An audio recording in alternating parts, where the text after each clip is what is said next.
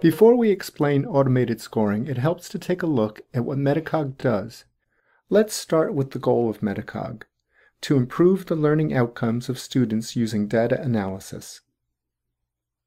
Metacog is an internet-scale data platform, which essentially means it will work even if thousands of schools are using it all over the world.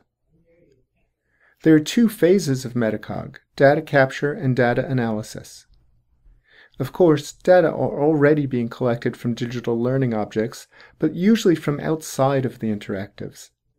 But Metacog captures data from within the digital interactives, so instead of just getting overall time on task and the final result, you can see how much time students spent on different tasks and more importantly, the sequence of what they did. It's easy to retrofit existing digital learning objects, and of course it can be done as part of new development as well. You might wonder how this would affect the performance, and the answer is that it doesn't. Data are collected without affecting the responsiveness of the digital learning objects. At this point, there are three APIs in the Metacog suite, and a few more are on the way. The first thing you need to be able to do is retrieve your data. Data are collected anonymously, so no personally identifiable information is stored in the cloud. Then, the Visualization API lets you visualize the data, for example, to compare an individual student score to a class or school district, or to measure the progress of one student over time. So, how are those scores produced? How can you measure the performance of a student using an interactive learning object?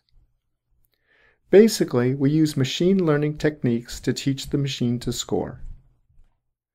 There are two phases for this. One is the training phase, and then there's an auto-scoring phase. In the training phase, a content expert uses a session recorder to record different kinds of responses. The expert also writes a rubric to score each user session. Together, each user session with its score is called a training session. The content expert creates a training session for each cell in the rubric. In this way, the software will be able to generate a score for every type of expected response. In phase two, the machine learning algorithm is fed the training sessions. It uses this knowledge to score additional sessions. The scores are spot checked by a content expert, and after validation, machine scoring can be relied upon.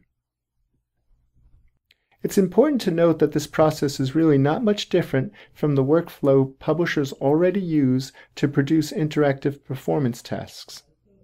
The same content experts that develop the performance tasks are ideal for generating the rubric and generating sample user sessions. Answer keys are always double and triple checked, often by a dedicated QC department, who could of course check the results of the machine scoring.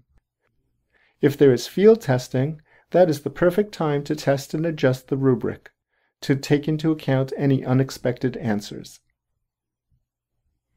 The power of machine scoring is that it removes a significant barrier for the end user. Once teachers know they can rely on machine scoring for open-ended activities, they will use them more often.